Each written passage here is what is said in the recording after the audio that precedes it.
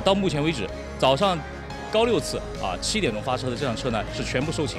哎，下午这个中午十二点的这一趟高十二次呢，目前也是这个全部售罄。呃，复兴号上座率呢，应该一直以来啊，这个也是比较高的啊。从前面前期我们在虹桥的这个数据统计来看啊，基本上上座率都是在百分之七十八以上。